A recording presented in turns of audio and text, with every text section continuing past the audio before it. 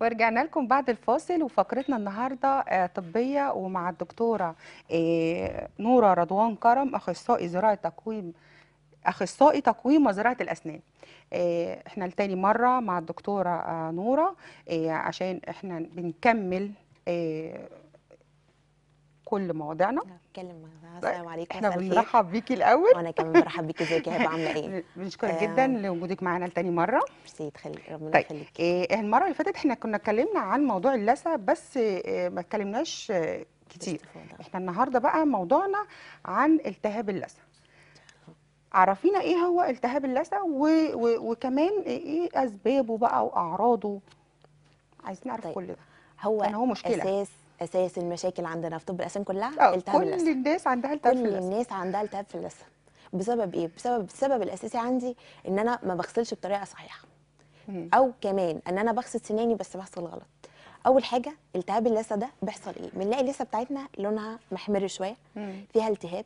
بنلاقي جير بنلاقي على الأسنان طبقة كده غريبة موجودة تحت الأسنان. في سؤال كتير يقول لك كل ما بغسل سناني تقولي له ما بتغسل سنانك ليه تقول لك بغسل دم؟ سناني بنزل دم. مم. أنا بغسل سناني بتنزف دم. يقوم طارق خالص يعني بطل خالص يغسل سنانه دخلنا في مشكلة أكتر. مم. التهاب اللثة ده بيحصل إيه؟ إحنا عندنا وإحنا بناكل أي أكل sticky أو أكل فو أو أي food إحنا بناكله. مم. خصوصا ال sticky food الحاجات اللي بتلزق في الأسنان. بيحصل إن في طبقة بتتكون على طبقة من ال plaque طبقة رقيقة جدا لونها أبيض بتتكون على السنان. لو أنا ما غسلتش سناني الطبقة دي بتفضل في مكانها. العواقب بتاعتها إيه؟ عندنا الفم ال saliva اللعاب بتاعنا ده بيحتوي على minerals معادن كالسيوم وبوتاسيوم ومغنيسيوم في معادن كلها. بتدخل على الطبقة دي تتكون فيها وتترسب فيها تبقى الطبقة دي وصلنا لمرحلة ال calculus اللي هو مرحلة الجير طبقة صلبة كده موجودة على الأسنان. الجير once اللي هو اتكون على الأسنان بيعمل التهاب في اللثة. أعراضه إيه؟ بنلاقي لون اللثة بتاعتي لونها أحمر بتنزف طبعا مع الغسيل وفي ناس بتوصل معاها المراحل إن هي بتنزف لوحدها يقول لك من غير أي حاجة الاقي اللثه بتاعتي بتنزف. طيب أنا وصلت للمرحلة دي كل الحاجات اللي أنت هتستخدمها وغسيل الأسنان و كل ده ملهاش حل في الوقت ده. حلي رقم واحد إن أنا منظف جير منظف جير عند دكتور الأسنان. لازم طبقة الجير اللي موجودة على اللثة يعني والسنان أنا لو دي. عندي التهاب لثة آه، أروح أنضف الجير؟ لازم تنضفي الجير. خلاص يعني هي- اساسيا يعني آه. هو بروتوكول كده إن أنت بتنظف جير كل ست شهور. عندك جير مفيش عندك جير بتنظف كل ست شهور. إيه- بتعمل إيه، check إحنا up على قلنا الحلقة اللي فاتت برضه. آه ده إيه، أساسي. الجير هو إحنا بقى سبب كل السبب المشاكل. الأساسي داخلين في المشاكل. كلها. أساسيات يعني ممكن تلاقي السنة كلها سليمة. وتلاقيه جالك بسنة وقعت آه مخلوعة. بسبب إيه؟ بسبب الجير. هو ده بيعمل مشاكل. أول حاجة ال gingivitis اللي هو التهاب اللثه ده أكتر حاجة مشهورة. نمرة اتنين بعدها أنا دلوقتي وصلت للمرحلة اللي أنا عندي التهاب في اللثه. أنا وصلت المرحلة دي. ما نضفتش الجير عند دكتور أسنان ومشيت على روتين إن أنا بغسل سناني بعد ما انضف جير وأمشي على مضمضة وأستخدم ال dental floss اللي هو الخيط الطبي ده رقم واحد ده العلاج. ما عملتوش. ندخل في مرحلة رقم اتنين periodontitis. التهاب في الأربطة بتاعة السن. السنة دي بتمسك في العظم عن طريق إيه؟ الطبقة الخارجية اللي إحنا شايفينها دي كلها دي اللثه طيب السنة نفسها ماسكة في العظم عن طريق أربطة اسمها periodontal ligament. طيب ال gingivitis اللي هو التهاب اللثه ما عالجتوش تبدأ تدخل للمرحلة اللي بعدها ال periodontal ligament. ندخل في periodontitis التهاب في الأربطة. طيب يبدأ إيه؟ ده مستوى اللثه وتحته عظم. مستوى اللثه يقل العظم كمان يقل. بص ألاقي الجذر بتاع السنة بدأ ينكشف معايا. يقول لك مع السخن سنتي بتوجعني مع البارد سنتي بتوجعني سنتي بتوجعني لوحدها مع الأكل سنتي بتوجعني، بتوجعني آه. ندخل في المرحله اللي بعدها. آه. لا ده سنتي بدأت تتلخلخ. ده أنا اوريدي الأربطة اللي ماسكة السنة مم. نمرة اتنين العظم اللي حوالين السنة مستواه قل فقدت عظم.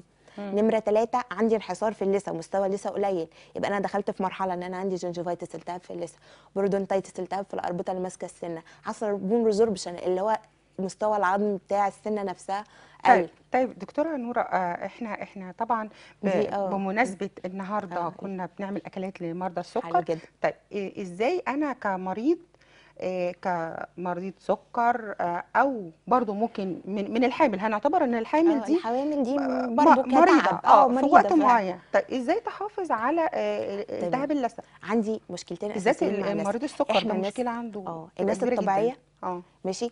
بتتعرض اللي عندها التهاب في اللثه تيجي بقى الحاجات اللي بتعمل aggravate بتبوظ بزيادة. السكر والحمل والولادة والرضاعة. آه الست في مرحلة الحمل بيحصل عندها hormonal changes يعني في تغيرات في الهرمونات بتاعتها. مم. ال balance بتاعها في imbalance طيب مع الإهمال بيحصل عندها تضاعف في التهاب اللثة والأربطة. يعني إن كان عند الشخص الطبيعي بيحصل مرة عندها مراحل بتعدي مراحل كتيرة جدا. مم. طيب الست الحامل محتاجة عناية مضاعفة عن الشخص الطبيعي.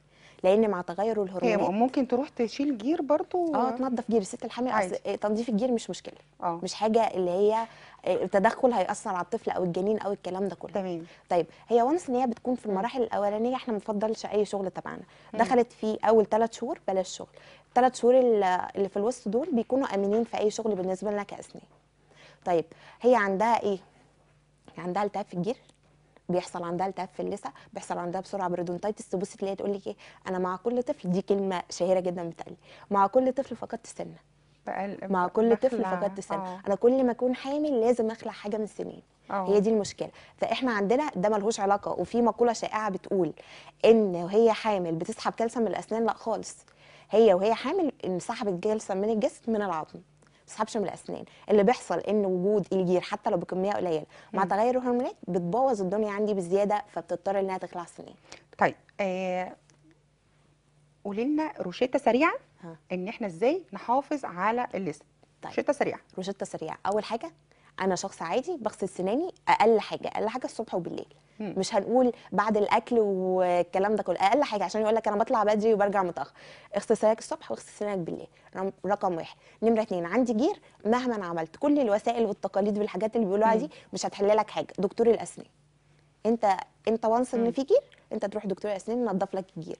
بعد كده غسيل الأسنان تستخدم مضمضة المضمضة أنواع كتير جدا. ماشي أي ماوس ووش مش أي مم. في منها علاجي فهو دكتور الاسنان اللي هيحددها لك. نمرة ثلاثة الصور بستخدم نزلت. على آه أوكي. الشاشة يا جماعة التهاب اللثة بس عشان الناس تبقى عارفة آه، التهاب اللثة عامل إزاي.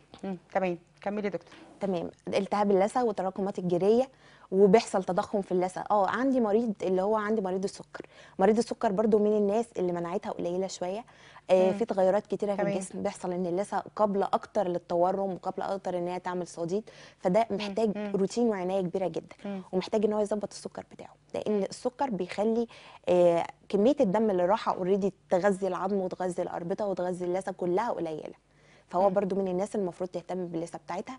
وتهتم بغسيل سنانها طب سؤال مهم جدا آه. عشان في آه، صورة عن زراعة الاسنان هو آه. هو حاجة سريعة آه إيه طيب هو ينفع وأنا حامل آه، أروح أزرع أسنان لا وهي حامل مش هنزرع لها سنين طيب. وما تخلص حمل هنبقى نزرع لكن. ممكن مريض السكر مريض يروح السكر يزرع ممكن نزرع له سنين بس بشرط أول حاجة مريض السكر يكون بيعتني بنظافة الفم تمام نمرة اتنين رقم آه رقم اتنين عندي إن هو يكون أصلا سكره يعني controlled السكر ده مرض هو ما يعتبرش مرض قد ما هو حاجة لازم يكون مظبط السكر معاه لازم. يظبط آه. السكر. once إن هو ظبط السكر. وبقى controlled في المظبوط بتاعه هو شخص عادي جدا أنت عامل له أي حاجة لو ما ظبطش السكر هيحصل عنده تورم في اللثة هيحصل عنده كمية العظم أصلا اللي هي قليلة أحط له الزراعات الزراعات مم. نفسها لو مش مظبط السكر هتضطر إن هي تقع من مكانها مش هتفضل في مكانها. زيها زي السنان بتاعته سنانه وقعت كمان الزراعات بتاعتي هتقع. لازم يظبط السكر بتاعه بيظبط مع ال physician بقى اللي هو دكتور ده بتاع البطن. بيبقى آه. عند كبار السن بقى يعني إحنا إيه، والله هو السكر ولا هو العادي؟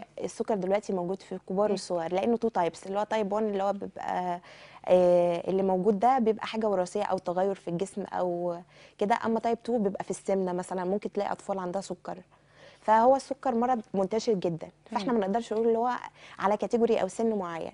لا هو once إن في سكر بنظبط السكر بتاعنا تزرع تخلع تنظف تعمل. كل حاجة. شخص عادي كده طيب السكر مش مظبوط بنظبط السكر بعدها نزرع. يعني مريض السكر ظبط سكره هو قابل إن أنا اعمل له لكن أي حاجة. ي- يعني التهاب اللثة يحافظ عليها إزاي؟ مريض يحافظ السكر إن هو ينظف جير بانتظام. آه ما- ينظف جير بانتظام يظبط السكر بتاعه. هو مريض السكر يظبط سكر. ماشي؟ ويستخدم المضمضة ونستخدم ال floss. ده في في مريض السكر زيه في مريض ال- العادي. بس الفرق إن مريض السكر محتاج يهتم بزيادة لأنه عنده عوامل بتعمل aggravation بتبوظ بزيادة. تمام. آه،.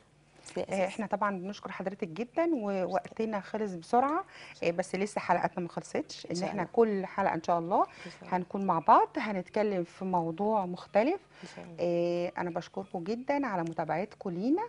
آه، كان معانا آه، دكتورة آه، نورة رضوان كرم أخصائي تقويم وزراعة الأسنان جامعة المنصورة. شكرا لكم أشوفكم في حلقة جاية إن شاء الله. هتوحشوني. مع السلامة.